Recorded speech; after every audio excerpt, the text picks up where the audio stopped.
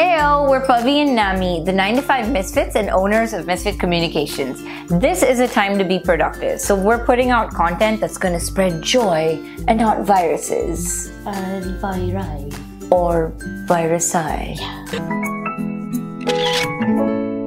So it's a weird time right now, right?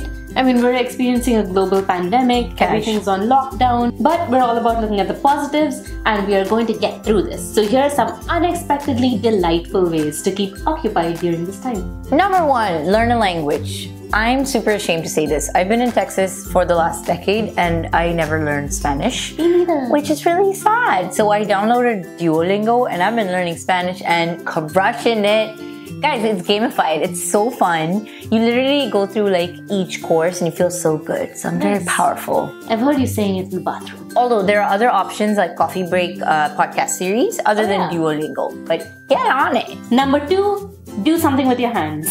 Ew, okay. I know. Other than washing them, of course, which is what I obviously meant, make some art. Do some origami, use that coloring book that's sitting on your shelf, or just steal it from your kids. Or start learning calligraphy or napkin folding for that fancy dinner party you're gonna throw and definitely gonna call me to once all of this blows over, right? Number three, move your body. Do something to stay active. Plenty of yoga studios, dance studios are offering free classes, so take advantage of that. Or even get outside, get some sunshine while maintaining safe six feet distance, of course. Again, go at odd times maybe, and just like don't lick random people. But that's so fun. Number four, revisit the things you'd saved for later. So I have a Gmail folder called courses and resources, you know, because I'm cool like that. And I stash all the things I know I'm supposed to read, like articles and blog posts, but I just never get to them. Same with YouTube videos. I flag them as watch for later and I never watch for later. Well, now is the time. Let's do it. Number five, allow yourself to be bored. Honestly, ever since this showed up in our lives, we don't even know how to be bored.